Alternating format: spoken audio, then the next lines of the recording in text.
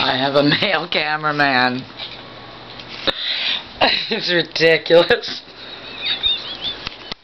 It's silly.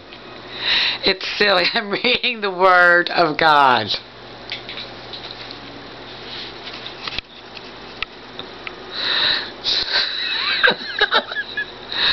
Boy, you can make a purse out of a sow's ear, can't you? Wow.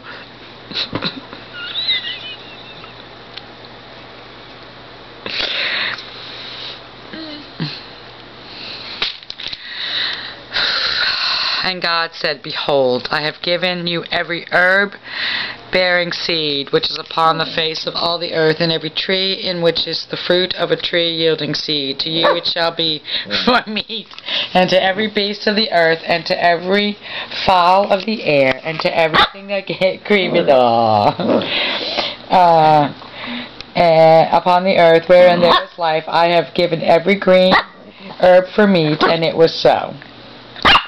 And God saw everything that he had made, and behold, it was very good, and the evening and the morning were the sixth day. I mean, I can barely see, because I don't, don't know where my glasses are.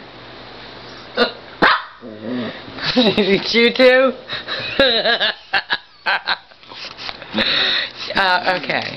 Alright, go look at your eyes, which I'm sure probably... Oh, it's just chapter 2. Thus the heavens and the earth were finished, and all the hosts of them which, you know, oh, hey, Steady. Steady went to go look at his wife, who, um, by the way, at least in the encyclopedia, is very beautiful.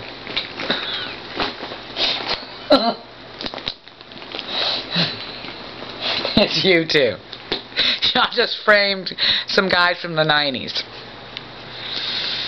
Thus the heavens and the earth were finished, and all the host of them. And on the seventh day God ended his work which he had made, and he rested on the seventh day from all his work which he had made. And God blessed the seventh day and sanctified it, because he had rest from all his work which God created and made. These are the generations of the heavens and of the earth when they were created in the day that the Lord God um, made the earth and the heavens. I can't even focus.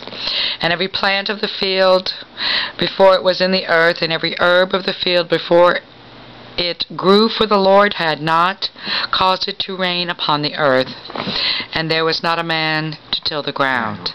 But there went up a mist from the earth, and watered the whole face of the ground. And the Lord God formed man of the dust of the ground, and breathed into his nostrils the breath of life, and man became a living soul. And the Lord God planted a garden eastward in Eden, and there he put Ah. the man whom he had.